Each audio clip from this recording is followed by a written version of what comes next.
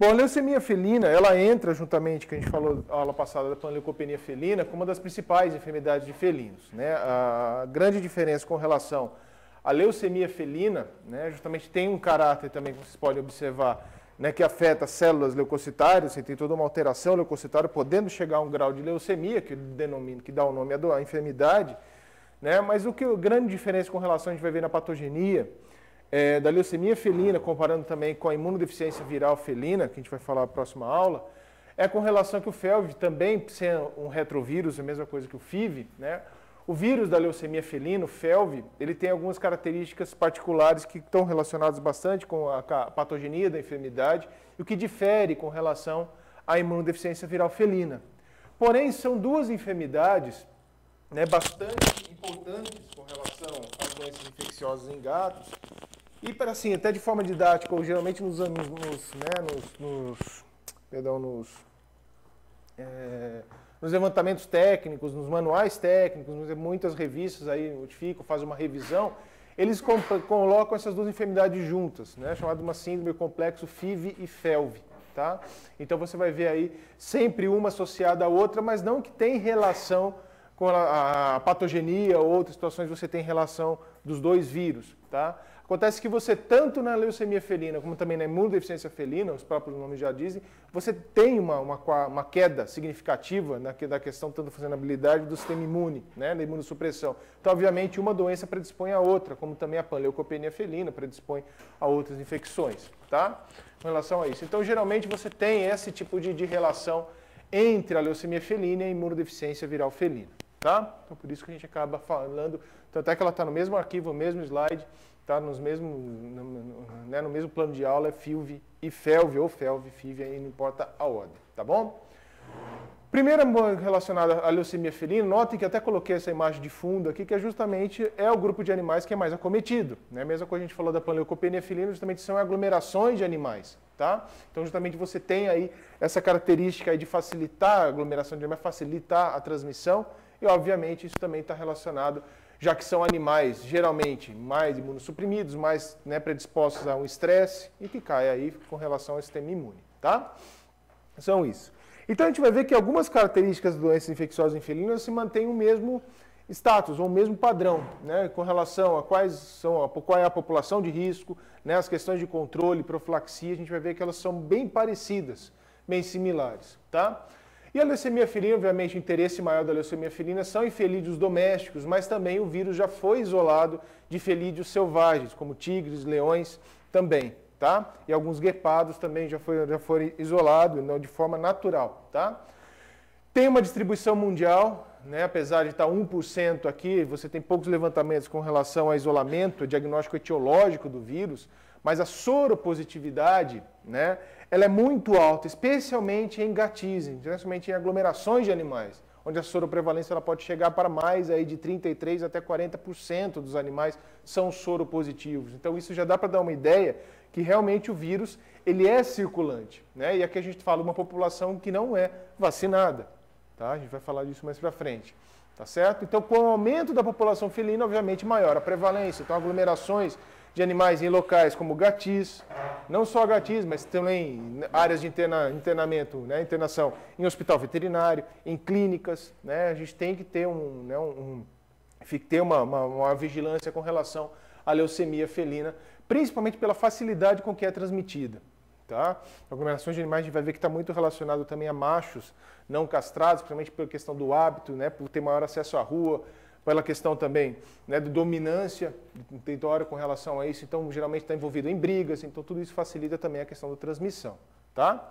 No Brasil, de dados epidemiológicos que a gente tem, né, no Mato Grosso já foi, foi isolado o vírus em feridos selvagens, aí em onças, padas, tá? também já foi isolado aí no Mato Grosso, no estado do Mato Grosso foi o único caso descrito do, do vírus da leucemia felina isolado de um ferido selvagem no Brasil, tá certo? Isso aqui foi no ano de 2005, se eu não me engano. E outros levantamentos que foi feito com relação à casuística em hospitais veterinários, da Federal do Ceará, né? em Minas Gerais e São Paulo, aqui foi uma, uma questão sobre prevalência com relação a um estudo feito juntamente com a Secretaria de Saúde. Então, chegaram a vir sobre prevalência de animais errantes, né? de animais aí soltos, geralmente nas cidades, sem vindo de proprietário, em torno de 5%. tá? Isso que dá uma prevalência baixa. Porém, se a gente for pegar né, tamanho do centro com relação a isso, a gente vê que é uma população significativa. Né? 5% nem de animais errantes dentro da cidade de São Paulo é algo significativo. Pelo tamanho da população, obviamente, isso também condiz com a população, o aumento da população de animais errantes, principalmente gatos. Tá? Minas Gerais, o estudo foi feito também em Belo Horizonte, capital. Então, são duas capitais com um nível próximo aí de 5% de animais soropositivos. Né? Então, isso, obviamente, é, foi um, estudo feito num momento, se não me engano, esse estudo aqui é no começo do ano 2000, não sei se foi 2001 até 2003, tá? mas no começo do ano 2000. Mas você vê que mesmo no ano 2000 para cá, nada mudou com relação à prevenção, novas formas de vacinação com relação a isso. Então, geralmente a transmissão a manutenção ela é a mesma. Né? Então, esses índices aqui eh, se devem, logicamente, à, à, né, à, manutenção do vírus no ambiente, à propagação do vírus de um animal para outro. Tá? Logicamente que aqui a gente tem duas populações diferentes de estudo. Né? Então, aqui, logicamente, concentra mais a população, obviamente, que está relacionada a um estudo em casuística em hospital veterinário. Então, os animais são levados até lá. Né? Então, obviamente, aí você tem aumento da soropositividade, já que a população se concentra mais né, com relação aqui do que provavelmente um estudo em animais errantes. Tá? Mas a prevalência aí nos deixa enganar aí com relação a essa soroprevalência. O que, que a gente tem de mente geral nisso daqui? É que a, o vírus está circulante. Tá? E obviamente você tem soro positivo já entrou em contato com o vírus. Tudo bem? Bom, por que, que você tem essa alta prevalência com relação né, à leucemia felina? Justamente pela facilidade de transmissão, tá? Tanto pelo contato direto ou indireto com grande número de sepates, de secreções que contaminam, que é transmitido diretamente o animal, de um animal infectado para o outro, pelo contato direto nesses animais, e também por contato indireto por meio dos fômites. Então isso mostra uma importância maior com relação aos gatis, né, aglomeração de animais aí antes justamente numa associação de, né, de, de, de bem-estar animal, numa associação aí de, né, que, que, de, de abrigo de animais. Então, logicamente, tem que ter uma atenção com relação a isso. Tá? A maior parte do vírus é eliminado na saliva. Tá? Então, a gente vai ver pela questão de patogenia que o vírus tem uma grande relação com relação à eliminação da saliva. E, obviamente, né, essas mordidas que dão em brigas, principalmente em machos, né, que são aí castrados, né, perdão, machos não castrados, você tem um índice maior de transmissibilidade, né, devido a, propriamente ao hábito do animal. Então, muitas vezes envolve em brigas, na questão de dominância, de cópula também, e isso você faz a transmissão de um animal para outro, diretamente. Mas sempre é importante da questão dos fômites, por, pelo vírus ser eliminado na saliva. Né? Então, os potinhos de água, potinhos de ração, de comida aí, que são uso em comum, geralmente né, nesses abrigos de animais, isso facilita a transmissão também. Tá? Em relação a isso. O vírus, só para a gente ter uma ideia do quanto é eliminado, né, já foi feita uma estimativa, normalmente por microscopia eletrônica e por ml de saliva, em torno de um milhão de partículas virais por ml de saliva. Então isso é muito. A gente vai ver que isso tem relação uh, com a patogenia da doença. Tá? Por que, que o vírus ele tem uma alta multiplicação e justamente a manutenção do vírus no animal, a gente já sabe que é um retrovírus. Então, a gente lembrar características aí da microbiologia veterinária, né, quando a gente estudou lá da família Retroviridae, a gente vai ver o que, por, que, que isso persiste e por que, que também dá maior produção viral no animal também. Tá? Já foi relacionado, além da transmissão horizontal, obviamente, a transmissão vertical, tá? mas, é, mas não houve repetibilidade, ou melhor dizendo, reprodutibilidade dos estudos. Então já foi descrito num, num, num relato de caso, tá? mas isso é muito incomum. Então, a transmissão vertical, até muitos autores, alguns livros vocês podem observar, colocam em dúvida também com relação à transmissão vertical. Tá? Apesar de ser um retrovírus, né, a gente tem aí um animal né, doméstico carnívoro, que a questão também tem a ver toda com o tipo de, de, de tomia também placentária, né, questão histológica aí também da placenta, favorece a transmissão de um agente infeccioso. Tá? Só que a gente vai ver que é um retrovírus da família gama, do gênero gama retrovírus. A gente vai ver que isso dá particularidades do FeLV de muitas vezes nem ser transmitido a prole. Tá? Então isso favorece, a gente vai ver que a transmissão vertical, ao contrário da FIV, aqui ela não é regra. Tá? Pode acontecer como não pode. Está muito também relacionado com o status imunológico também da gata, para se vai passar ou não para a ninhada. Tá? Em relação a isso. Geralmente são animais que estão em infecção, né? Ou uma infecção crônica persistente, já que a gente está falando de um retrovírus, ou seja, o animal, ele muitas vezes ele não tem o vírus circulante, mas nas células dos animais, né, desse, desse animal, vai permanecer o provírus lá integrado no genoma da célula. Então, muitas vezes, quando você tem o quadro né, de, de, de uma gestação, início, você tem aumento da proliferação de células e, consequentemente, isso inicia uma nova produção de vírus que antes você tinha aí controlada. Tá? Oi. A transmissão vai ficar sempre pela é, via placentária? Via placentária. Né? Principalmente contato de sangue materno com o sangue do, do, do feto. Tá? Dificilmente você tem no período do parto mesmo, tá? Com relação a isso, mas sempre é infecção intrauterina, tá bom? Então é isso. Tá bom, gente? Então, só lembrando aí a questão da etiologia, né? Falar um pouquinho aí da família retrovirídea que a gente viu lá na, na microbiologia veterinária, anos-luz atrás. Vocês veem lá que são da família ortorretrovirina e do gênero gama-retrovírus.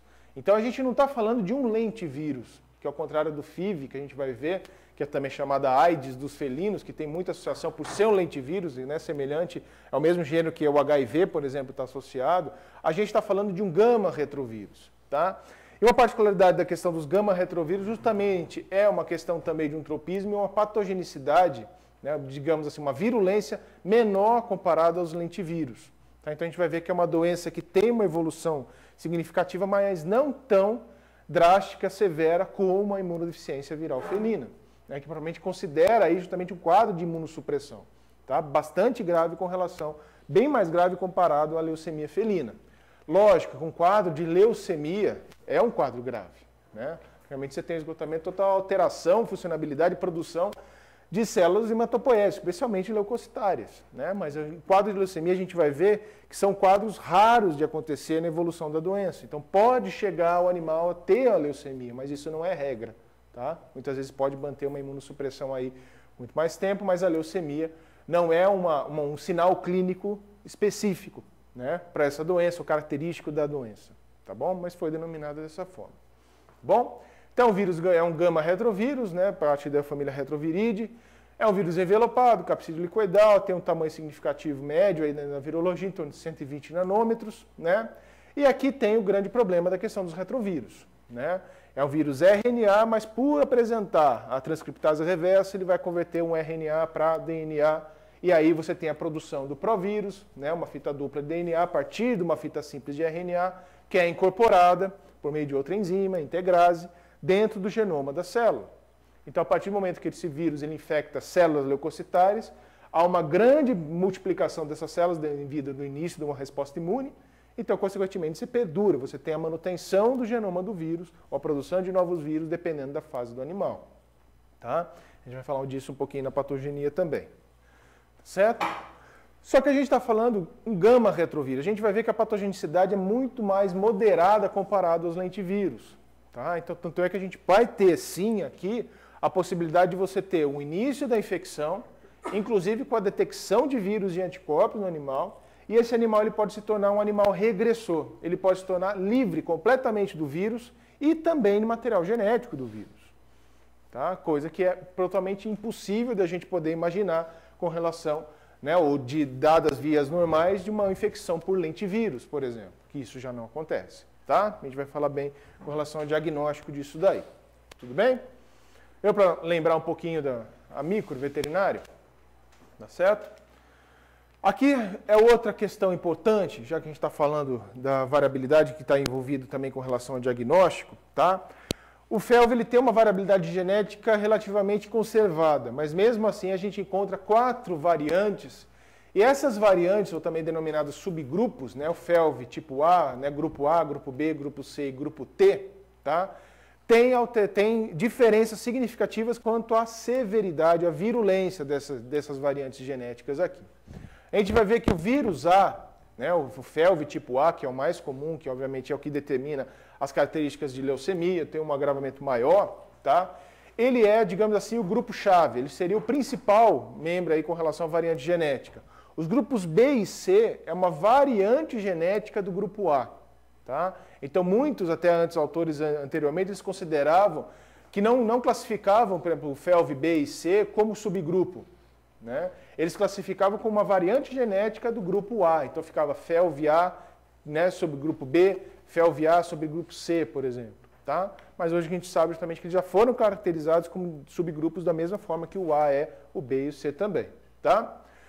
Então o B e o C eles são variantes do grupo A.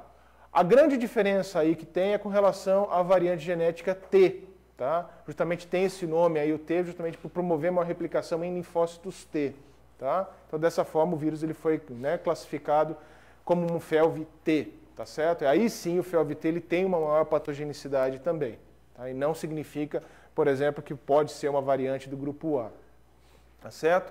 O que, que significa da questão do grupo B e C? Eles não têm manutenção muito alta no, no ambiente. Tá? Eles não têm manutenção, perdão, numa população. Por quê? Porque dependendo do animal ele é infectado pelo grupo A, no próprio animal é gerada essa variante B e C. Tá? Então você não tem transmissão de um animal para o outro, por exemplo, somente do grupo B. Ele sempre vai estar associado com o grupo A. Então onde tem o grupo C ou B, você vai ter a variante A obrigatoriamente.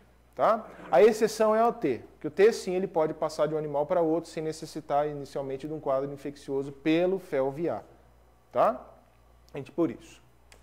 Tá bom? E elas variam, obviamente, com relação à glicoproteína do envelope, né? O que a gente lembrar lá da microbiologia, na virologia, a importância dessa glicoproteína do envelope que está relacionado ao tropismo, né? A absorção, a ligação do vírus à célula. Então, muitas vezes, o que com a diferença do T para o A é que o T tem um tropismo por linfócitos T, tá? comparado a outro que você tem aí por diferentes leucócitos, além de, de, de neutrófilo, eosinófilo, basófilo, mas também linfócito B. Tá? o T mais especificamente para linfócito T. Tá bom? Então varia essas proteínas do envelope, obviamente varia a célula que infecta. Tá? Em relação a isso, que são essas duas proteínas aqui. Tá? Essa proteína do envelope, a glicoproteína 70, GP70, é o principal fator né, de estimulador ou imunógeno aí da produção de anticorpos. Tá? Então é essa proteína aí que vai ser toda né, fragmentada aí, produzida em forma de antígeno e aí estimulando uma resposta humoral. Tá? E essa P15E, que já é uma proteína também, envelope, ela está relacionada muito à questão da imunossupressão. Tá? A gente vai ver isso certinho na patogenia, onde lá há uma modificação com relação e pouco estímulo acaba sendo um fator limitador aí para estabelecimento de uma resposta imune. Tá? A gente vai falar disso um pouquinho mais para frente, justamente que vai ser uma, uma proteção dessas glicoproteínas para não serem reconhecidas como algo estranho no organismo. Tá? Deu para lembrar um pouquinho do vírus que a gente falou, da família? Então vamos lá. Tá? Aqui é só a proteína de superfície, está ligado à proteína viral, que é a mesma coisa das glicoproteínas. Tá? Acabei esquecendo aí de falar, mas nada que, que já não tinha dito anteriormente. Tá certo? Aqui é só mostrando o final né, da questão que a gente vê na, das infecções por retrovírus. Né? O gama retrovírus também a liberação é por brotamento. Então o que, que isso significa? Que as células leucocitárias que são infectadas por esse vírus, eles vão o quê? liberar na membrana plasmática, né, ou vão apresentar a membrana plasmática, isso em decorrência da replicação do vírus, as proteínas virais na membrana plasmática. Então, obviamente, essas células vão ser reconhecidas pela resposta imune celular, pelo parte do sistema imune, como células infectadas, células estranhas. Por isso apresentam proteínas estranhas na membrana, né? proteínas diferentes do organismo. Então, obviamente, essas células, durante o processo de replicação, elas vão ser identificadas como algo estranho e que vão ser aí submetidas a todo o processo da resposta celular, por linfócito T citotóxico, vai destruir essas células, por aí em diante. Então, o próprio sistema imune, né? Ele já faz uma debelação, já diminui o número de linfócitos circulantes, né, de células aí imunes circulantes. Então isso faz com que próprio, né, justamente por essa característica aí da replicação do vírus, que você tem aí uma né, identificação dessas células como células infectadas e que devem ser destruídas pelo sistema imune. Tudo bem? Lembrando, aqui é importante a gente falar um pouquinho, tá? que é a questão de diferença que eu falei para vocês dos subgrupos A, B, C e T. Tá? Então notem que grande parte, né, o subgrupo A justamente é o que dá, a, digamos assim, né, a, a, patogenia clássica com relação à doença. Tá? É por parte do FeLV-A aí que se tem toda a questão, né, 100% é da questão dos gatos virêmicos é onde ele vai estar presente. Tá? Patogenicidade moderada, porém altamente contagioso. Então a replicação desse subgrupo é muito alta. Isso favorece a, a transmissão tá? com relação a isso também e tem uma citopatogenicidade moderada. O que significa isso? Ele mantém a célula por mais tempo viável para produzir mais, mais a progênie viral, né? maior cópias aí de vírus. Tá? Então, consequentemente, ele vai manter uma carga viral no animal muito elevada, fazendo com que esse animal seja tenha um alto poder de transmissão também. Tá certo? Alguns sinais clínicos estão associados à neoplasia, hematopoética, então já iniciando um processo de leucemia, ó, tá? que pode evoluir para o processo de leucemia. Tá? E hemólise aí já foi vinculado experimentalmente, mas assim, de curso normal da doença, nada. O que, que eu quero importar, que, que, você, que importa bastante aqui para vocês, é justamente essa diferença com relação o A aos outros subgrupos. Tá? Notem que o B e o C, ele ocorre junto com o subgrupo A. Tá? E a origem desses grupos B e C é com relação à mutação desse subgrupo A. Então pode acontecer no mesmo animal, na mesma infecção, a progênie viral e ser produzida do tipo B e do tipo C. Tá? Isso é muito comum com relação aos retrovírus, gente. E o gama retrovírus não é diferente também. Tá? Muitas das vezes o grupo B e C ele perde para o A em patogenicidade. Então a gente vê aqui, ó, não é tão patogênica infecções singulares, ela se torna muitas vezes patogênica, a C principalmente, quando tem associação com o A, ou seja, está no mesmo caso, no mesmo sinal, você tem aí a questão do grupo A, né? o grupo C aí acaba ficando com, né, um pouco infectante, mas de forma isolada, o B e o C dificilmente causam a doença. Tá? Dificilmente eles vão causar doença, mesmo experimentalmente, o FeLV B e C, eles não têm relação patogênica. Tá? Alta, baixa patogenicidade aí. O que difere com relação ao subgrupo T? O subgrupo T ele é altamente contagioso, tá? Altamente patogênico. Então, esse nome pelo tropismo, que tem a linfócito T. Tem uma afinidade né, por duas proteínas celulares de hospedeiros, que são essas daqui que determinam é, praticamente um acometimento maior da célula, determinam aí uma lesão à célula, tá? muito maior com relação a isso. E também estão envolvidos com o grupo A. Tá? Mas o grupo T, eles não são, é, digamos assim, mutações diretas do subgrupo A, tá? Somente o B e o C, tá bom? Então notem que o grupo T ele já vai determinar sinais clínicos, né? Mais imunossupressão, relacionados à imunossupressão maior. Então neutropenia, linfopenia, tá? Quadro de diarreia relacionado a também a falha aí de resposta imuninata com relação ao trato diarreico, né? a febre em decorrência da viremia pelo alto poder patogênico, alto poder de replicação desse vírus. Tá certo? Então, o que vai importar para a gente aqui com relação à etiologia da doença é mais o subgrupo A e subgrupo T. Tá? É literatura é, fraude, né? Isso, exatamente. Justamente pela característica imunossupressora e também a questão do linfoma, você tem um aumento muito grande de volume de células anormais, né, afuncionais muitas vezes. Grande parte disso por você ter alterações, que seria uma, né, você tem uma variedade muito grande da questão do que torna a célula funcional, seja ela por você tem alterações síntese diferenciadas, que acabam expressando proteínas diferentes na, na, né, no, no, na, membrana. Frente a isso, acabam sendo até receptores que o vírus pode utilizar para utilizar a célula como, né, como uma fonte de produção. Né, com isso. Então, estão associados bastante. A gente vai ver, até na, na questão da patogenia, a gente vai explicar isso. Tá? Diga-lhe. A e a T, digamos, são variantes genéticas do vírus. É a mesma espécie, porém você tem tipos diferentes. Né? O A, B, C e T eles são classificados com relação à variabilidade genética. Então, o que, que pode mudar entre esses subgrupos? As proteínas do envelope. Então, o T realmente é uma nova variante do vírus da FeLV. Tá? Porém, a T ela é uma variante mais independente do grupo A, diferente da B e C.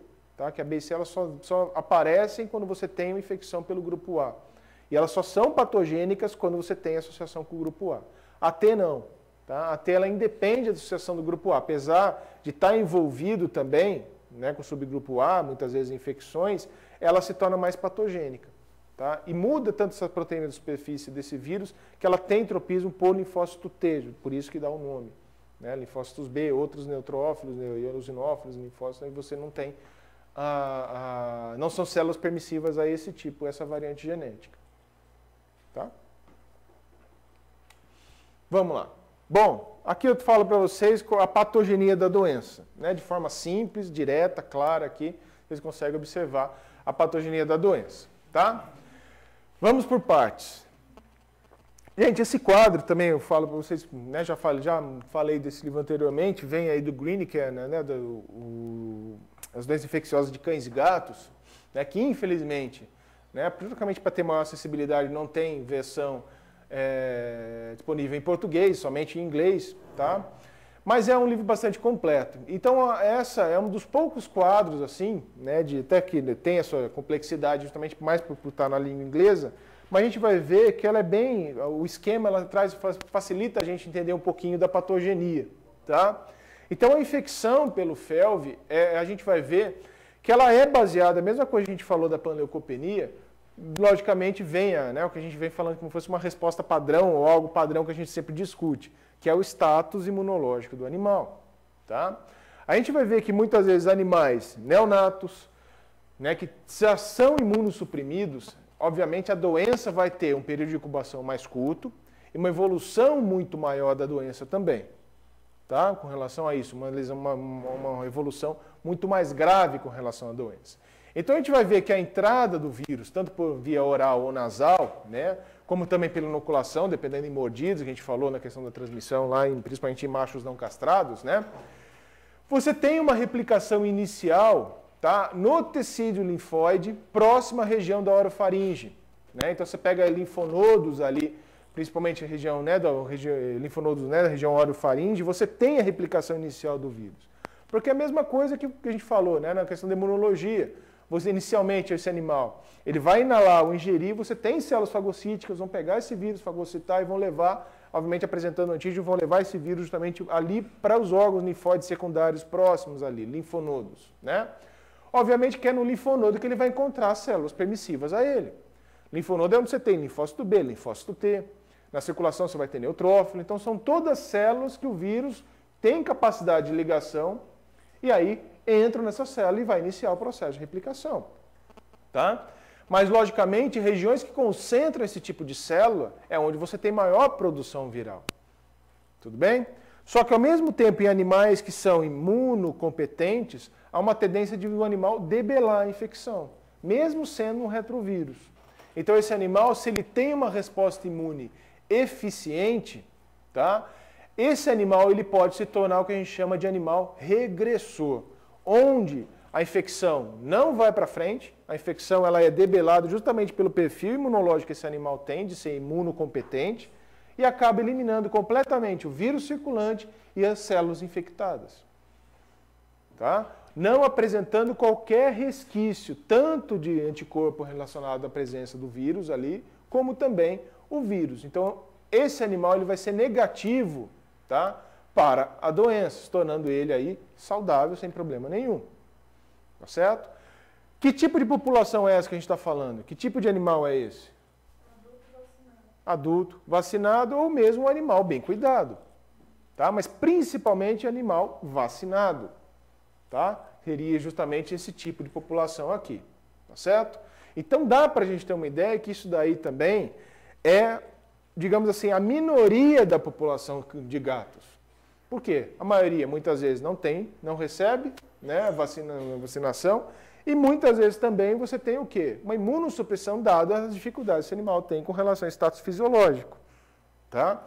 Então o que, que acontece a maioria das vezes? Você tem um animal que não é imunocompetente e apresenta uma resposta imune deficiente. Então, sendo aí, ocorre a replicação nesse primeiro local, inicia-se o processo de viremia, ou seja, esse vírus vai atingir, vai atingir vários órgãos, determinando aí vai cair em circulação sanguínea e vai ser, é, vai tentar, vai chegar a outros órgãos linfóides, vai chegar em tanto primário como também secundário e vai também sofrer aí, vai infectar células circulantes no organismo. Então, neutrófilo, basófilo, eosinófilo, né? Todos os leucócitos aí são permissivos a esses vírus, tá? Com exceção do, do, do, do FeLV-T lá, que é somente linfócito T, tá certo?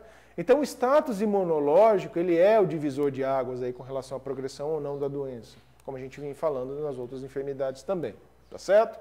Então, o que, que a gente tem aqui depois da viremia, né? Uma, um, né? uma disseminação sistêmica aqui do vírus. Ele vai justamente para órgãos linfóides, ou vai se replicar nessas células linfóides, tá? Onde que ele vai aqui, ó? Ele vai para a medula óssea, onde ele vai encontrar a maior parte de células indiferenciadas, células permissivas a esse vírus.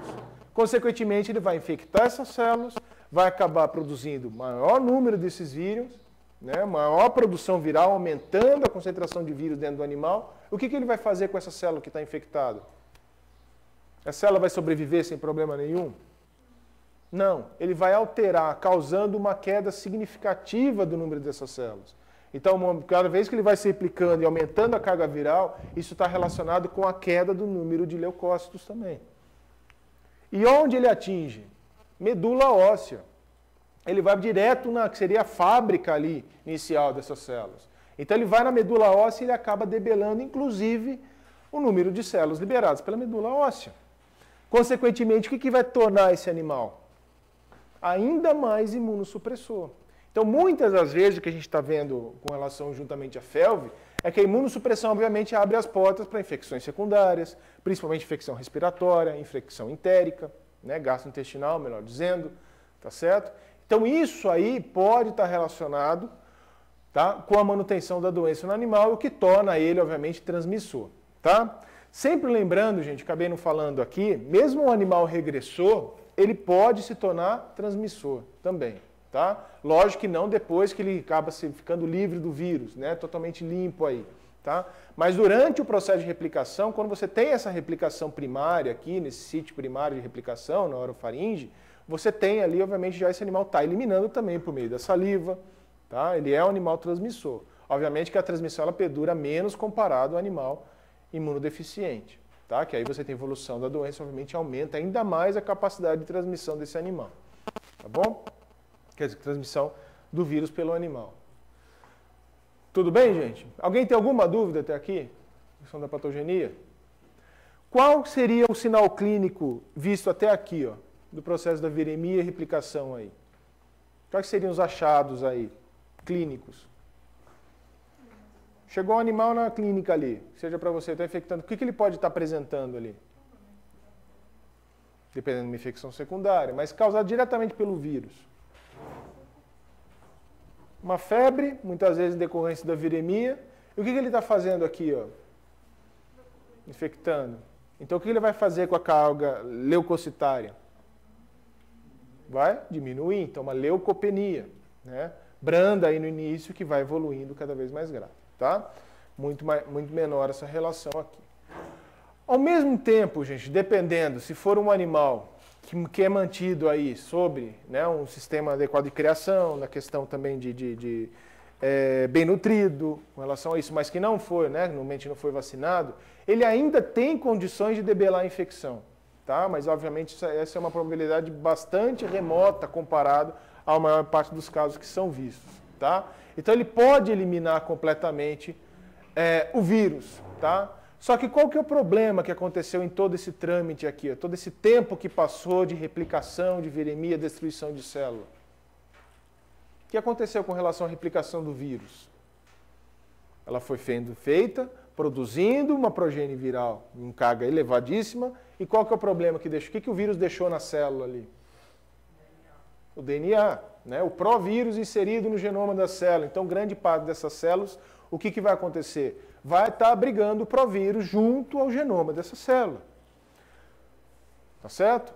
Isso significa a manutenção da infecção. Então, muitas vezes, o que estabiliza a essa célula não ser produzida, não produzir mais vírus? Muitas vezes ocorre o quê? Quando você tem o que a gente chama de infecção latente. Tá?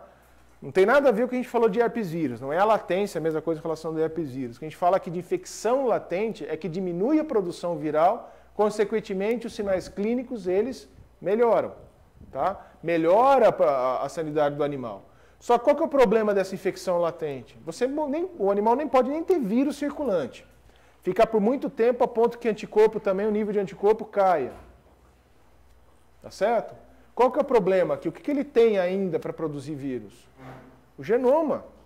Ele tem o DNA, o provírus produzido a partir lá da transcriptase reversa que foi integrado no genoma da célula. Então, quando é que essa célula vai começar a produzir novos vírus? Com a imunidade baixa. Ou seja, até a possibilidade de uma infecção por um outro vírus, por outro patógeno. Não entra já naquele processo de clonagem celular que começa a multiplicar as células, favorecendo e aumento da síntese proteica dessas células? Não é isso que acontece? Então, cada vez você vai tendo duplicação e o que, que vai ser duplicado junto com essa célula? O genoma do vírus. Né? Então, toda vez que, se anima, que essa célula for multiplicar, vai estar levando para outra célula filha a parte do genoma do vírus. Quando essa célula começar a sintetizar proteínas que seriam de forma normal para estabelecer uma resposta imune, seja ela, por exemplo, produção de anticorpo, o que, que vai ser transcrito em RNA mensageiro também? Proteínas do vírus. Né? E vai ser produzidos novos vírus. Diga, Ivan.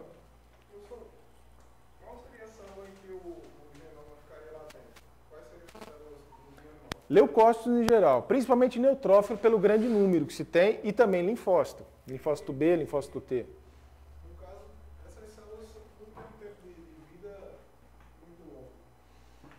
Não, depende da célula, né? Que você tem aí, por exemplo, você tem produção de linfócito, né? Os linfócitos são células que duram muito mais tempo, né? Para a questão do neutrófilo, pela questão da fagocitose, a tendência é que os fagocitos eles já são mortos, entre a apoptose, né? Mas linfócito não. Então a maior duração, manutenção do vírus, é justamente em linfócito, né? Justamente por isso. E justamente a multiplicação do linfócito é muito maior também comparada, né? Quando essa célula já está diferenciada. Agora, a medula óssea onde você tem maior replicação, né? obviamente isso, mas é mais em linfócito porque ela perdura inclusive a replicação em órgão linfóide secundário. Né? É por isso que você tem maior manutenção do que neutrófilo, principalmente, que, já, que não, tem, não é alojado em órgão linfóide, né? é tudo feito aí, liberado, liberado diretamente da medula, circulante, né? ficando. Tá? Por isso que eles são mais mantidos em, em linfócitos. Tá? Com isso. Tudo bem, gente? Então ele pode aqui ter ainda, mas ele ainda vai estar tá trazendo justamente esse genoma do vírus. Ele vai estar tá presente. Voltou o quadro de imunossupressão, né? aqui, ó, seja uma terapia por um glicocorticoide, por exemplo, ou uma infecção secundária que ele se tem ali, uma nova infecção, melhor dizendo, tá? Volta o quadro de imunossupressão e o que, que volta a ser produzido? Novos vírus tá? que vão infectar novas células, debelando ainda mais o processo aí de produção dessas células, né, causando aí uma leucopenia intensa, tá? que vai variar conforme o dano tra, né, trazido pela infecção viral, que a gente vai ter os diferentes graus aí de imunossupressão, podendo levar completamente à falência de medula, né, a questão da, da produção de leucócitos, consequentemente até o quadro que a gente chama da leucemia. Tá? com relação a isso. Tudo bem, gente? Alguém tem alguma dúvida com relação a essa infecção latente aqui? Não? Tá? Pelo outro lado, né, caso esse animal ele ainda continue imunodeficiente, né, seja um animal com bastante um modo grau de nutrição, um estresse muito grande, tá? A tendência é a continuação dessa replicação viral, aumentando ainda mais a distribuição desse vírus no organismo animal, ou seja, uma viremia continuada. Tá? Essa viremia continuada, obviamente, ela vai acometer maior número de neutrófilos, maior número de linfócitos e por aí em diante. Tá? Então, esse animal ele vai ter uma viremia que a gente chama de viremia persistente, aonde ele chega a um determinado limite entre já ter cometer uma quantidade muito grande de células, tanto circulantes como também em linfonodos, em baço, em órgão linfóide secundário, que agora ele está debelando inclusive a medula óssea. Então, as células mesmo imaturas que estão sendo liberadas, a medula óssea não vai conseguir restabelecer, então vai começar a lançar na circulação sanguínea células ainda imaturas, onde o grau de imunossupressão vai ser cada vez maior.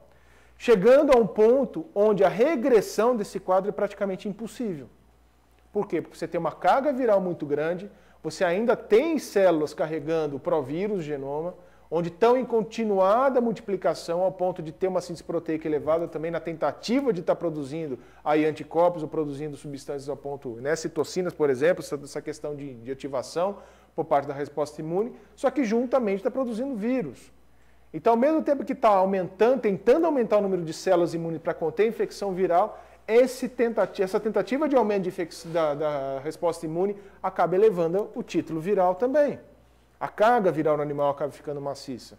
Ao ponto que aí vai começar cometendo o que antes era somente célula circulante em órgão linfóide secundário, vai começar agora a afetar também a produção na medula óssea. Tá? Chegando até o ponto de esgotamento ou há um dano tão grande nas células germinativas ali na medula óssea que essas células acabam mudando totalmente de conformação e não tendo muitas vezes nem função mais nessas células leucocitárias. Que isso significa qual é o quadro clínico? Um quadro de leucemia. Então a gente vai ver aqui que esses sinais clínicos aqui, eles evoluem conforme a manutenção da doença no animal. Então, muitas vezes, um quadro mais leve, ele só pode estar relacionado a uma febre, muitas vezes decorrência dessa primeira viremia, ou mesmo um quadro de leucopenia, porém não muito intensa. Tá? Causa, causa. Né? Exatamente. A linfadenopatia está relacionada justamente quando você tem um quadro de uma viremia continuada. Que aí você vai ter tendo uma proliferação ainda maior né, dessas células, obviamente o dano também nos tecidos vão ser maiores também. Tá? Pela lesão aí que você tem. Tudo bem, gente? Alguma dúvida com relação a isso? Essa questão da patogenia, viremia persistente? Não? Vamos falar um pouquinho dos sinais clínicos aqui. O que, que a gente vai ver com relação à evolução da doença? A gente pode variar desde funções não diretamente relacionadas à infecção do vírus, como por exemplo, ter uma glomerulonefrite, justamente pela produção, deposição de imunocomplexo, problemas reprodutivos, tá? Mas não significa no caso de um aborto justamente por você ter o acometimento, não o animal ele tem uma DBL tão grande, uh, o sistema, o organismo desse animal, que muitas vezes ele não consegue nem manter uma gestação, então pode determinar aborto, mas não diretamente ligado à infecção pelo vírus, tá? Tudo bem? Então pode ter associações ligadas que podem evoluir tanto de uma forma menos grave, né, até uma forma justamente mais maligna da doença, onde a gente vê a leucemia, tá? Então a imunossupressão associada a isso pode, né, que eu falei para vocês, uma linfopenia, né, tendo esses linfócitos circulantes em funções totalmente incomuns, anormais. Então isso favorece o quê? Não tem implantação de uma resposta imune, ou seja, uma porta aberta praticamente para a infecção do vírus também, mais ainda nessas células. Tá? No entanto, a gente vai ver aqui que dependendo da persistência dessa viremia, da produção maior do vírus, você vai ver que pode tornar, ter, determinar sinais clínicos mais severos, né, mais graves aí, como né, uma, causando uma mielossupressão, onde causada por uma anemia, né, trombocitopenia e granulocitopenia também. Ou seja, ó já o esgotamento da medula óssea aparecendo aí. Certo? Uma queda muito grande. Ao ponto que essa mielossupressão, ela, evolve, ela desenvolve, né, ela passa aí, evolui para uma forma mais maligna, que aí você tem, além de, de não ter células suficientes sendo liberadas no organismo para poder né, suprir a falta que está acontecendo no organismo, você tem liberação de células totalmente afuncionais, modificando células germinativas ali da hematopoiese, determinando o quadro de leucemia, linfoma e até mielodisplasia. Logicamente que essa parte aqui, ela se torna muito mais é, rara até de acontecer, por quê? Porque a evolução da doença ela tem que ser contínua. Né? E, logicamente, para a gente poder detectar isso, logicamente, o animal ele tem que vir né, para assistência no veterinário.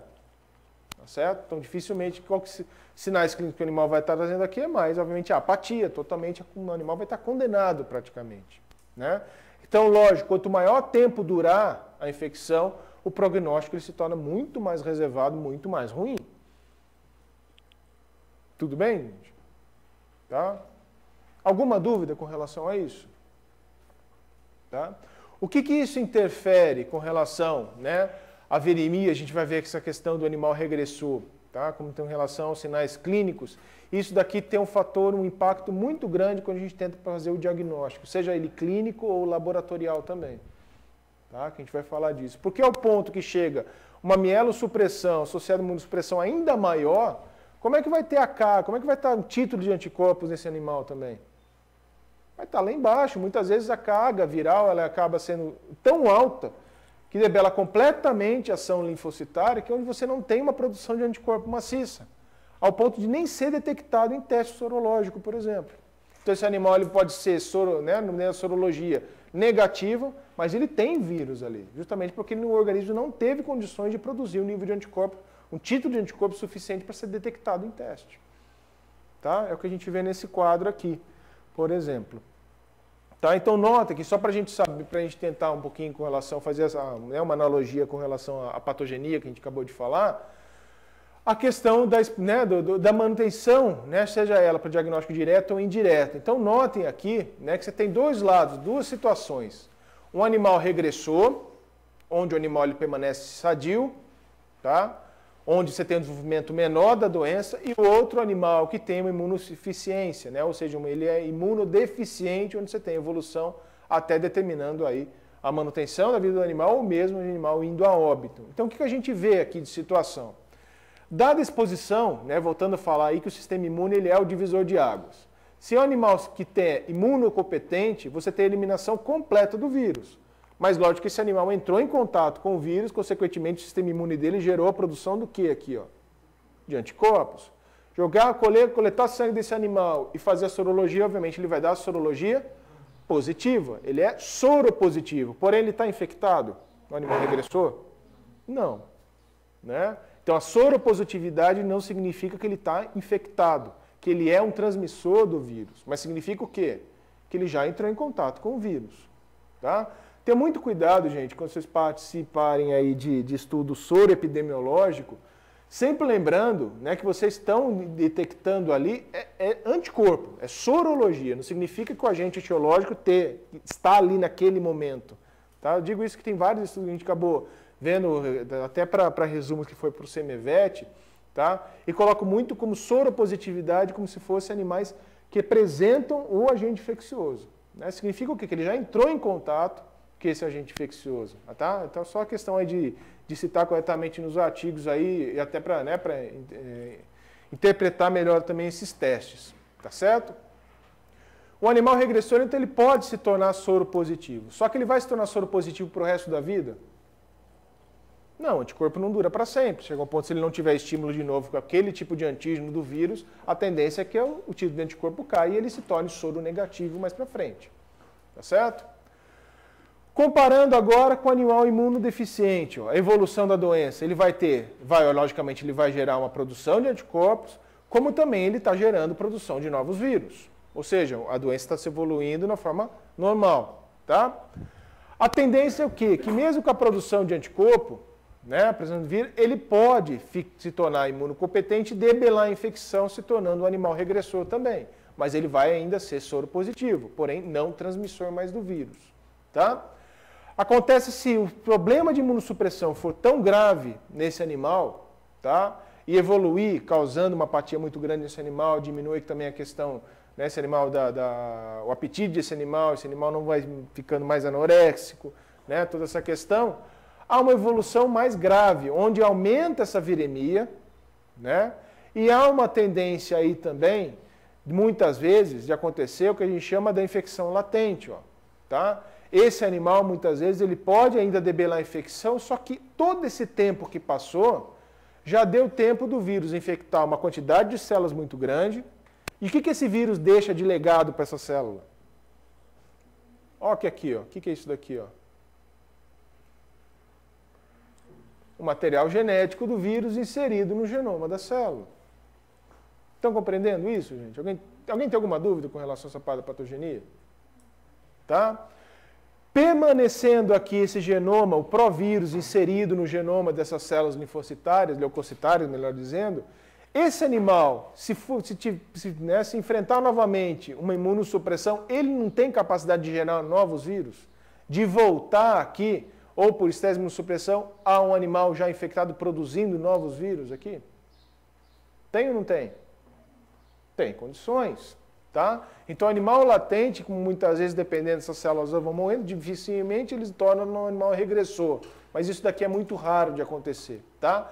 A tendência é que, se a viremia, né, se a imunossupressão ela permanecer, chega a esse ponto aqui, ó, onde o animal ele pode se tornar infectado, onde o diagnóstico direto ele vai dar positivo para o vírus, vai dar positivo para o vírus por meio da PCR aqui também, como ELISA ou fluorescência direta, porém na sorologia ele vai dar negativo.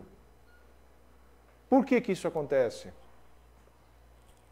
Pelo esgotamento de células linfocitárias, ao ponto de não exercer nem mais a função, nem produzir anticorpos, consequentemente, né, isso justamente em decorrência da ação direta do vírus. Então o vírus debela tanto a produção de linfócitos, tá? Tanto circulantes como também que estão nos órgãos linfóides secundários, como também aqui medula óssea também está sendo esgotada. Ao ponto de não haver substituição, então não produz anticorpos, ele vai ser soro negativo, mas abrigando o vírus ainda.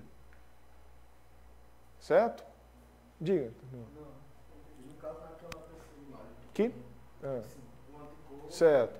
E o vírus? E o vírus, se fizesse o teste sorológico para Positivo. Ele daria soro positivo, como também ele é animal infectado. Ele está apresentando o vírus ali também. Tá certo? Então vocês estão vendo que, por exemplo, chega um animal já com uma infecção secundária, né, com uma apatia muito grande, né, ou seja, o perfil fisiológico do animal altamente debilitado, né, pode abrir suspeita para FeLV. Ah, vamos fazer uma sorologia, deu negativo, você vai descartar FeLV? Não, ele pode estar tá numa viremia persistente aqui. Ele pode já, inclusive, apresentar um quadro de linfopenia bastante generalizado, um quadro de linfoma, por exemplo. Tá? Evoluindo até no caso de uma leucemia. Tudo bem, gente? Daí, obviamente, que aí vai ter que fazer um esperado, né? um esperado de medula, colocar em lâmina, vir na histopatologia e observar as células ali, como é que estão. Tá? Manda lá para o professor Ricardo Lucena lá. Tudo bem? Diga. Só, só. O latente, no caso, né, realmente ele vai, ele vai manter o provírus. Então, muitas vezes, colhe-se o sangue, tira a parte né, branca do sangue, ali com os leucócitos e tudo mais, e dá, faz PCR somente daquela parte branca. Né? Então, se você observar ali a presença, se conseguir né, amplificar um genoma, parte que é o provírus, parte do provírus que está ali no genoma da célula, faz a PCR, você tem identificação. É uma, logicamente, é, é uma sequência conhecida só do vírus, que não é comum, não é para estar tá nas células, você consegue identificar que é um animal, que ele está ainda em uma viremia, que seria uma infecção latente do vírus. Tá? Por isso. Mas, logicamente, num animal infectado você vai conseguir, né? Porque o vírus também está dentro dessas células. Certo? Ele vai tentar identificar. Então, assim, pela PCR você pode identificar tanto, né? como animal durante o curso normal de viremia, como também o animal, né, o infecção latente. O que você diferencia é que se você pegar de um animal regressor e ele dá negativo, mas é soro positivo, daí sim você confirma que esse animal regressor. Tá? E só na sorologia ele é positivo, mas ele não tem, se colhe, faz a PCR, imunofluorescência, ele vai dar negativo. Tudo bem? Dúvidas, gente, com relação a essa parte da infecção aqui? Não? Aqui é só mostrando para vocês os sinais clínicos, né? Com relação que a gente já falou, mas só mostrando aí os quadros, né? Então abre muita a porta para infecção oportunista, para infecção secundária. Então entra aí principalmente quadros de estomatite, né, gengivite crônica, então causada por bactérias, né, que é um problema muito, mais, geralmente é, é, muito comum observar qualquer imunossupressão em gatos, o animal ele vai ter estomatite, tá? Lesões em pele, abscessos cutâneos e aqui é o problema maior, tá? Doença respiratória crônica, então o animal ele vai ter uma dispneia, tá? É comum que todo momento esse animal ele vai ter essa dificuldade respiratória. E aí corre o risco de você ter outras infecções até mais graves. Né? Muitas vezes um processo de toxoplasmose na sua forma clínica, né? já que animal, os gatos são os reservatórios naturais para o toxoplasma gondii, então muitas vezes você tem a manifestação da doença. Tá? E aumento do risco da peritonite infecciosa felina, que a gente vai ter assunto nosso também daqui, não na próxima aula na outra. Tá? que também aumenta em decorrência de uma variedade né, dos vários agentes etiológicos envolvidos na peritonite infecciosa felina, como vírus e também bactéria. Então, obviamente, abre as portas para esses tipos de infecções secundárias aí também. Logicamente que isso daqui vai exigir do organismo um gasto muito maior de energia, principalmente por parte do sistema imune. Então, isso acaba debelando ainda mais o sistema imune, acaba causando um processo de imunossupressão ainda maior. E, logicamente, se o animal não está dando conta de se manter né, as defesas naturais do organismo frente à infecção pelo FeLV, como é que ele vai manter uma defesa frente a um oportunista? É aí que não mantém. Então, muitas das vezes os animais vêm a óbitos, vêm, vêm a óbito justamente por, pela infecção secundária, tá? principalmente respiratória. Pega aí um caso grave de pasteurelose mesmo, acaba acometendo basicamente aí os gatos aí. Pseudomonas está muito associado também, tá? Sinais clínicos diretos relacionados ao FeLV, obviamente, são os quadros aí da né, leucopenia, tá? Está associado aqui, podendo evoluir na sua forma mais maligna, né? Como uma leucemia ou até um linfossarcoma, tá? Que geralmente é 30% aí dos tumores associados a FeLV são linfossarcomas, tá? Também pode estar associado aí. O que, é importante a gente saber da questão da, da leucemia felina? Tá? Por mais que ele apresente um padrão, a patogenia, que podendo evoluir de uma forma mais leve até uma forma mais grave, até mais maligna da doença, Logicamente que isso tem muita relação, tá? Essa interação do vírus ao hospedeiro. Então a gente vai ver que muitos casos você tem patogenias, né? Você tem, por exemplo, período de incubação muito mais curto, mesmo um animal imunocompetente, tá? Muitas vezes você tem maior predisposição racial também, envolvido com questão de macho e fêmea, também está associado, mas tudo está relacionado a essa adaptação do vírus a um gato, ao hospedeiro. Então, muitas vezes, um quadro clínico, seja ele na mes do mesmo criador, por exemplo, do mesmo proprietário no gato, ele já teve um animal com felve, o outro ele começa a apresentar, mas não significa que a evolução da doença vai ser a mesma. Tá? Então, a grande importância na questão do tratamento aqui, da manutenção, é a observação do animal e acompanhando caso a caso. Tá? E não estabelecer um protocolo generalizado aí que dê para todos os, os tipos de casos. Tá? Então, para cada caso, é um novo caso, um novo tratamento, conforme os sinais clínicos que vão apresentando. Que chega muitas vezes, aquilo que eu falei para vocês aqui, eles podem somente manter um grau de imunossupressão, não evoluir para uma forma mais maligna ou mesmo de mielossupressão. Então, logicamente, o prognóstico se torna melhor, né? E até um, diminui o tempo da questão de tratamento de suporte. Logicamente, se chega um animal já com grau maligno da doença dessa forma, apresentando uma leucemia linfossarcoma, a tendência de regressão dessa doença é muito improvável. Né? Então, o prognóstico se torna muito mais reservado, até ruim. Tá? Com relação a isso. Então, cada caso é um caso. Tá bom? Aqui são algumas questões que também falando da, do caso de regressão, né, de, de viremia, de animal latente, de infecção persistente, tá? que são, são importantes aqui só para a gente ver essa questão da relação, tá? Então, muitas das vezes o animal, né, ele pode ter uma produção abortiva do vírus, que é justamente onde ele pode manter o DNA proviral no genoma da célula, mas né, o antígeno viral ele não é detectado, ou seja, esse animal ele pode participar, participar, por exemplo, de uma imunofluorescência direta ou ELISA, ele pode ser negativo, mas ele tem o provírus dentro da célula ali, tá? Mas isso não significa que esse animal vai produzir novos vírus. Tem que dar condições para o vírus ser produzido. Então, qual é a condição? Que em vez de uma abortiva, ela pode se tornar uma relação progressiva. Quando você tem produção de novos vírus. Tá? Quando você causa um animal imunossupressão, por exemplo. Tá?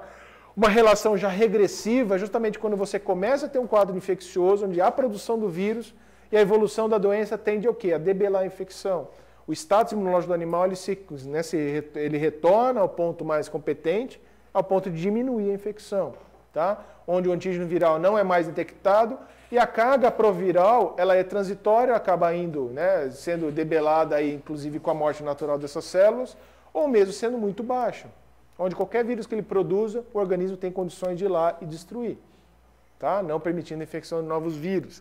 O problema é aqui, né? Infecção latente, que a gente está associando novamente aqui, ó, né? infecção latente que pode evoluir para os sinais clínicos, como também pode aumentar a viremia, e a infecção progressiva, tá? que aí você tem a manutenção do agente viral, né? Então, o antígeno viral ele pode estar presente ali, a carga proviral ela é moderada ao ponto dela ser persistente, então, para um animal latente evoluir para uma forma de infecção progressiva, ela é muito mais fácil, muito mais provável do que esse animal latente involuir para uma forma regressiva da doença. Por quê? Você já tem uma carga proviral moderada, então baixou, bastou um estímulo, uma imunossupressão, uma terapia errada, um glicocorticoide, por exemplo, que pode estar associado a outra doença, né? volta a produção de mais felve aí, tá? mantendo progressiva. Se o animal o quê? Se, se ele for imunizado mesmo, dificilmente ele vai chegar. Não, se ele foi vacinado quando estava no período de latência. Ah, quando estava no período de latência, digamos assim, a vacinação, realmente ela não tem te, função terapêutica. Se ele já está no período de latência, ele já tem infecção já estabilizada. Mas não vai estimular o anticorpos? Pode estimular. Debelar a infecção, por exemplo? Não, não. Quando você tem já uma infecção latente, olha o que aconteceu em tudo aqui. Ó. Você já teve uma viremia disseminada, a viremia já foi continuada, tá? E ele chegou à infecção latente aqui. Então o nível do provírus, a carga proviral no animal já é muito elevada. Ao ponto que muitas vezes, mesmo com a indução do imunógeno, vai estimular a resposta imune, só que não ao ponto de eliminar esse provírus que está ali abrigando. Porque a infecção latente, o que, que você tem na infecção latente? Você não tem produção de novos vírus, você não tem nem produção, apresentação de antígeno viral. Então essas células não vão ser reconhecidas pelo sistema imune, seja ela induzida pela vacina ou não. Elas vão se ficar mantidas ali. Então quando você tem, e a, né, e a vacina ela estimula uma resposta imunicelular, mesmo assim, quando começar o vírus, o número de células apresentando o provírus é tão alta que mesmo a imunização, mesmo apresentando células de memória, ela vai ser insuficiente para brecar a infecção. Então, uma tendência muito grande, mesmo assim, de ela evoluir para forma progressiva. Justamente por essa carga proviral muito mais elevada a partir desse momento. Então, o ideal seria, obviamente, no início, até ter uma infecção regressiva, digamos aqui, ó, até uma viremia até sistêmica, mas não continuada. Nesse ponto aqui, você já tem, provavelmente, opinião pessoal minha, você já tem a possibilidade de você já ter uma regressão maior. Inclusive, alguns relatos de casos até falam disso. Tá? Muitas vezes o animal chega com uma leucopenia alta, né, com relação a isso, onde a suspeita é a leucemia felina, de aplicar a vacina, inclusive, como uma forma terapêutica. Mas isso, logicamente, vai evoluir, vai variar conforme o quadro de evolução da doença. Só que aqui, Ivan, realmente no, né, no, na infecção latente, dificilmente você debela infecção. Tá? A carga proviral é muito grande já, muito elevada. Certo? Bom, aqui é só para né, associar aí com relação à patologia clínica, né, é, que pode acontecer também algumas desordens hematológicas relacionadas à infecção pelo felve. Mas só são casos aqui onde pode ter uma anemia regenerativa, anemia não regenerativa, ou mesmo a normalidade quando você entra no processo aqui da, né, da forma mais maligna da doença. Então, são achados né, que podem estar evoluindo, que podem estar relacionados à infecção pelo felve. Tudo bem? Não vou entrar muito em detalhe aqui, mais para para é, infecção, né, mais para informação de vocês aí, tá? Essa questão dos mecanismos aí que pode causar anemia regenerativa, logicamente que aqui você não tem acometimento da, né, da, do órgão linfóide primário, você não tem aí acometimento de medula óssea. A anemia não regenerativamente é mais grave, você já tem esgotamento de medula óssea e dificilmente você vai tendo a reposição dessas células, né?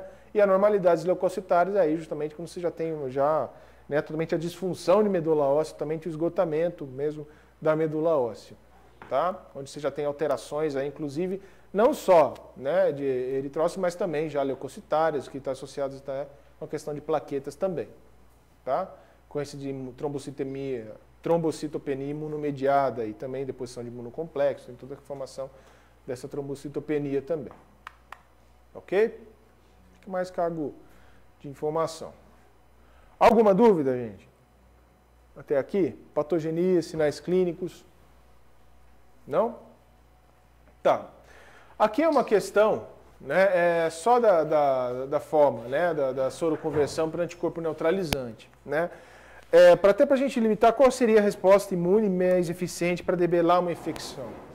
Costuma dizer que justamente no quadro de leucemia, obviamente para infecções de vírus, muitas vezes pela questão do provírus e tudo aí está relacionado, a resposta imunicelular ela tem que ser justamente né, mais é, é, estimulada para combater o vírus e debelar a infecção.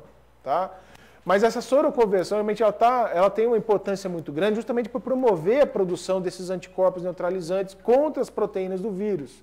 Então, logicamente, a carga viral é maciça no animal, você tem muitos vírus circulantes, tá? mas logicamente você tem que também ter é, é, uma forma de neutralizar esses vírus aí, obviamente, que está no espaço extracelular. Então, obviamente, a formação de anticorpos, a resposta imune moral, ela tem a sua importância também.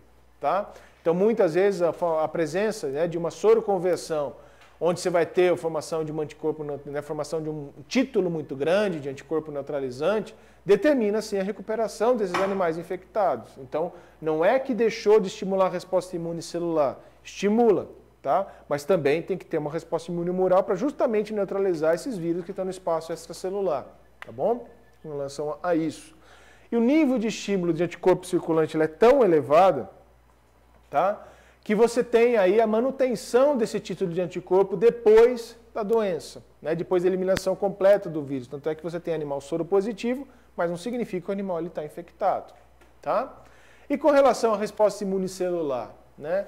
isso ainda é algo que está sendo bastante estudado com relação não só aos gama-retrovírus, mas em questão do papel dentro das infecções por retrovírus. Qual que é o tipo de resposta imune celular? A gente está falando do quê? De linfócito T, né? citotóxico. Só que linfócito T citotóxico são uma das células mais permissivas ao vírus. Então a resposta imune celular, ela se torna muitas vezes, dependendo do grau de infecção do animal, ineficiente. Por quê? Porque você tem uma quantidade de vírus muito grande, você tem células apresentando provírus, e vai chegar essa célula citotóxica ali justamente para promover a destruição dessa célula que está infectada, porém ela mesma é uma célula permissiva, esses vírus vão ser eliminados. Frente a isso, que ela se torna uma célula-alvo para esses vírus. Então, muitas das vezes, a, a resposta imunicelular ela é debelada bem antes do que a resposta imune moral. Se a gente for lembrar a resposta imunicelular, o que, que a gente tem aqui? Você tem linfócitos T, Citotóxico o quê? Eles estão circulantes, então há uma probabilidade muito maior de contato com o vírus e, consequentemente, de ser debelado. Onde está a resposta imune moral? Não é linfócito B, que está parado lá em linfonodo, baço, principalmente? Então você tem uma proteção muito maior dessas células comparadas a isso. Então dá mais tempo de sobrevivência dessas células, dá tempo dessas células se dividirem, se entrar em processo de diferenciação lá em plasmócito e produzir um título de anticorpo, um nível de anticorpo, né? Altamente capaz de debelar a infecção. Então, muitas das vezes você tem aí a manutenção, estabilização primeiro por parte da resposta imune moral, para depois a resposta imune celular entrar em ação justamente debelar essas células infectadas. Tá? Gente, com isso. Tudo bem, gente? Alguma dúvida com relação a sinais clínicos, a questão da patogenia? Não? Tá? Aqui só mostrando alguns sinais que podem estar associados, obviamente aqui um dos principais achados, né? Eu falo que é achado porque muitas vezes faz o exame clínico geral, vê que esse animal está em dificuldade respiratória e obviamente vê lá o quadro né, de, uma, de uma maior dificuldade respiratória, cometimento, e a gente vê local aqui, onde era para estar totalmente só com, com ar, né, a gente vê toda essa radiopacidade aqui em uma né, radiografia aí, tá? Então, o quadro, quadro respiratório ele é muito, ele está bem, bastante associado com relação às infecções por febre, justamente para promover a imunossupressão a infecções secundárias. Tá? A questão, né, os achados aí os de células afuncionais, então você tem neutrófilos aí com uma quantidade, né, mais com uma diminuição muitas vezes de grânulos, você tem plasmócitos aí, é, plasmócitos, linfócitos em maior quantidade também, muitas vezes menor quantidade, perdão, tá? Então você tem uma, é uma alteração hematopoética, obviamente, aí que você vai achar no, na patologia clínica, né? no leucograma, numa, num hemograma. Tá? Tem essas alterações aqui, então você põe células afuncionais, onde você já tem esse potencial aí de formar né, é, um quadro até de trombocitopenia, alterações né, dessas células, formações, então você tem expressão muitas vezes de proteínas que promovem o segregar, né, a, a, a aglutinação dessas células. Então, tudo isso são células afuncionais, características já de uma alteração medular. Tá? Importa estar evoluindo aí. Tudo bem, gente? Bom, citar diagnóstico, a gente já falou uma boa parte na questão. Eu te mostrei para vocês aquele quadro né, de um animal muitas vezes soro positivo, mas não apresenta doença e tudo mais. A leucemia felina ela já muda um pouquinho do patamar quando a gente fala do diagnóstico clínico presuntivo, que é o que a gente vem falando, falou das doenças em cães, como também a gente falou da panleucopenia, né, felina. Por quê? Porque o que a gente vai ver aqui é o grau de imunossupressão. Né? E muitas vezes ele vai apresentar sinais clínicos relacionados a infecções secundárias. Então, muitas vezes a queixa que chega é porque o animal apresenta problema respiratório, apresenta emagrecimento, né? Então ele já chega debilitado, geralmente já com uma infecção secundária instalada no organismo. Então, logicamente, você vai chegar, vai ter que defrontar com sinais inespecíficos. Né? Uma dificuldade respiratória, um quadro de diarreia, por exemplo, tudo relacionado à imunossupressão, abrindo portas aí para uma infecção oportunista. Tá? Então, a imunossupressão muitas vezes pode estar associada com outras infecções que causam imunossupressão, a próprio vírus da panleucopenia felina, o vírus da imunodeficiência felina, que é muito semelhante ao grau de imunossupressão, então ele tem que entrar numa lista de diagnóstico diferencial, tá? Com relação a isso, tá bom? O que aí é necessário você fazer um diagnóstico laboratorial, que esse sim passa a ser o definitivo. Porque aí você consegue diferenciar, seja por sorologia, seja por imunofluorescência direta, por PCR, dependendo da situação, você consegue identificar ou não aquele vírus. Tá? Então é necessário aí você fazer o diagnóstico laboratorial de, em decorrência. Né? Por qual motivo é necessário o diagnóstico laboratorial? É mais importante o diagnóstico laboratorial? Pela inespecificidade dos sinais clínicos e também pela questão da imunossupressão ser causada por outros agentes infecciosos, né? como o vírus da leucemia felina, toxoplasmose também.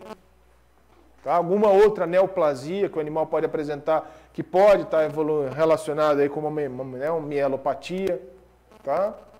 Então é importante aqui o diagnóstico definitivo, bem mais comparado com o que a gente falou da panleucopenia felina, tá? onde já somente você via uma, né, uma, uma, uma leucopenia progressiva, intensa, né? só que logicamente tem os sinais relacionados aí também, mas aqui o diagnóstico laboratorial ele seria muito mais importante. Diga.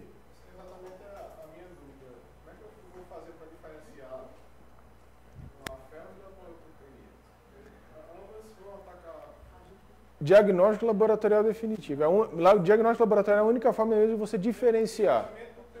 Não. Não. Não, dificilmente. O que, o que, que vai diferenciar? O que, que vai, lógico, você tem que colocar, são situações dependendo do, do, do, estado que o animal chega até você, obviamente você vai ter condições melhores ou mais difíceis de você diferenciar. Se você pega um animal já em final de infecção, onde ele pode apresentar, por exemplo, o quadro de felve, que é muito raro de acontecer, de já chegar com problema já de mielossupressão, esgotamento medular, muitas vezes o quadro até de leucemia instalado ali, logicamente que a leucemia não é algo que se vê sinal clínico relacionado à panleucopenia felina. Mas assim, clinicamente, o animal ele vai estar apresentando queda de né, uma apatia generalizada, uma dificuldade respiratória frente a outra infecção oportunista. Então entra tudo no mesmo, no mesmo grau de doença que é o quadro de imunossupressão felina, que pode ser causado por panleucopenia, FIV, FeLV. Né? Não, isso falando de vírus ainda, né? com relação a isso. Então a imunossupressão pode estar associada a fatores externos também, não infecciosos. Tá? Mas clinicamente é muito difícil. Você tem, e, e, né, e os próprios diagnósticos que tem laboratoriais, você tem o SNAP test, ele já traz também. Você tem diagnóstico tanto para para panleucopenia felina, para leucemia felina e imunodeficiência viral felina. Então, no mesmo teste, também é um, é um ensaio lá imunoenzimático, mas você coloca, você pega e vê se você tem, só que só vê se, se é soro positivo. Né? Então, isso já acaba já identificando, isso já facilita bastante. Né? Então, é muito comum na clínica utilizar esse teste, porque você já tem os três principais doenças imunossupressoras infecciosas em gatos num único teste. Né? Então, isso acaba facilitando mais. Mas você não tem, dificilmente, você fazer diferencial, você trata aqui. Né? Você, você identifica aqui. Tá? Só que clinicamente, para você, digamos assim, estabelecer um tratamento, você precisa de um diagnóstico definitivo? A progressão diferencia, logicamente, de cada agente etiológico aqui que a gente está vendo, de cada doença. Porém, o tratamento ele passa a ser conservador, ele passa a ser um, né, um tratamento de suporte, independente do agente infeccioso. Então você vai fazer um tratamento conforme o sinal clínico também que o animal está apresentando ali, conservativo. Então, muitas vezes, o diagnóstico laboratorial ele nem é muitas vezes necessário, porque se você visualiza que há um comprometimento, né, o animal tem uma, uma, uma leucopenia severa, ele tem um quadro de imunossupressão instaurado, dependendo da evolução, você vai fazer o quê? Faz coleta, faz hemograma, leucograma de forma sequente para acompanhar o grau de leucopenia que esse animal apresenta e vai mantendo terapia suporte enquanto o grau de leucopenia não melhora. É isso que você vai fazer né? além associado ao tratamento com antibiótico, né? toda essa questão também. Então, por isso que acaba muitas vezes o diagnóstico laboratorial nem sendo tão necessário para isso. Tá?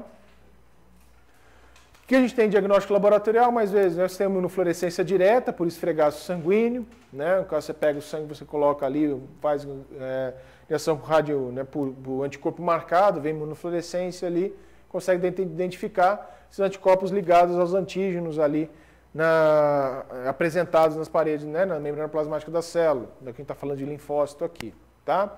ELISA pode ser, mas os principais são esses kits comerciais aqui, os SNAP tests, né, que são hoje, está muito mais acessível, né, do comparado ao que veio de cinco anos atrás até, né, apesar que ainda hoje eles já são testes mais, são, são caros ainda, tá, se eu não me engano, acho que esse é 12 reais cada, cada, né, cada snap, snap desse, cada kit desse, que você vai colocar, né, faz a, a, coloca lá o sangue do animal, tem lá tanto não sei quantos ml que coloca ali, aperta isso daqui, como se fosse um gatilho, você aperta e logicamente vai ter um papel filtro que daí vai promover né, a migração de todo esse, esse fluido até, entrar em contato com o local que, tá, que apresenta ali anticorpos marcados, ou anti-anticorpo marcado, né, com o, contra cada tipo de vírus. Então você vai ver, se você estiver no sangue, obviamente vai migrar e vai determinar essas colorações aqui.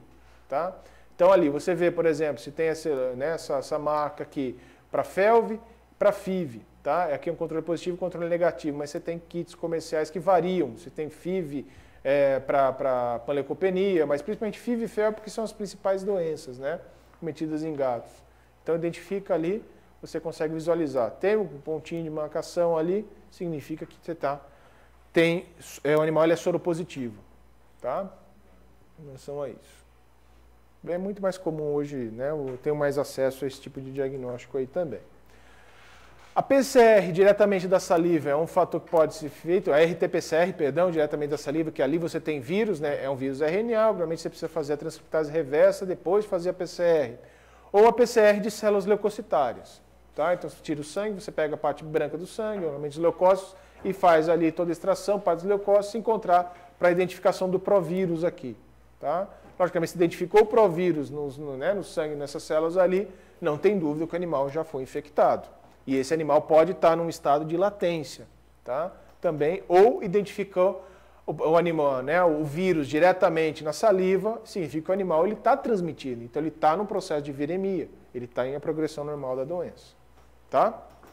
Essa seria a principal, seria a forma mais é, que, né, que a PCR e TPCR ela não deixa dúvidas na questão de, do animal, em que estado que esse animal está, se é infecção latente, se é animal que está numa viremia persistente. Tá bom? Bom, alguém tem alguma dúvida, gente? Desculpa falando na questão de diagnóstico. Não? Lembre bem, tente fazer associação com relação àquele quadro que eu mostrei para vocês logo depois na patogenia, tá? Do animal regressor, do animal que está em viremia persistente, infecção latente, é importante. Bom, a controle profilaxia, eh, a gente vai ver que como a questão da transmissão, ela tem uma, uma, uma semelhança muito grande também com a FIV, né? A, a, o controle profilaxia da doença, ela, realmente ela vai também abranger não só a FeLV, mas também a FIV.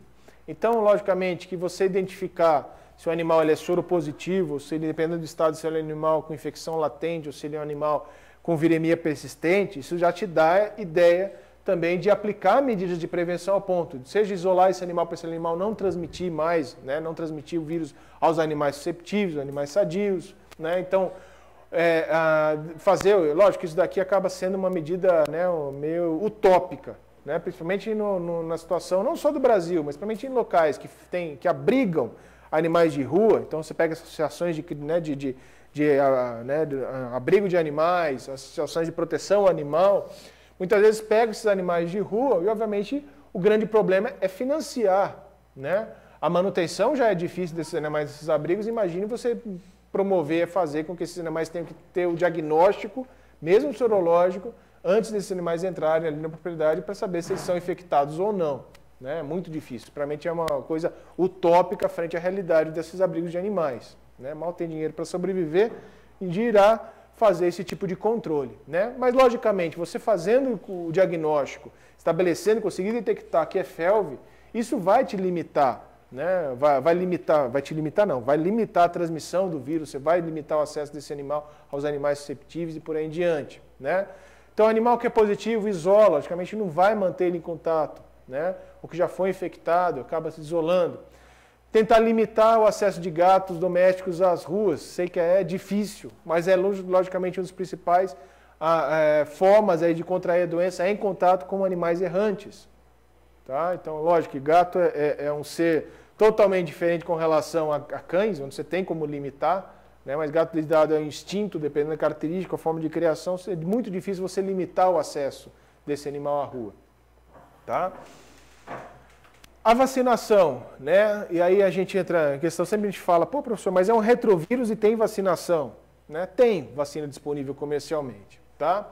E é uma das principais formas aí de, de, de, de prevenção, já que a gente está falando também, ele não é um lentivírus, então a variabilidade genética é bem menor, a, a manutenção do provírus ela é bem mais restrita comparada à questão das lentiviroses, tá? que a gente vai falar da FIV, por exemplo, é uma doença que é, hoje não se tem qualquer vacina né, que chegou perto de ter uma eficácia muito grande, né, porque se chegasse muito perto de ter uma eficácia, obviamente a gente já teria uma vacina também para o HIV, né, então já são muita, então tem uma característica, tem uma semelhança muito grande com relação à imunodeficiência né, humana também.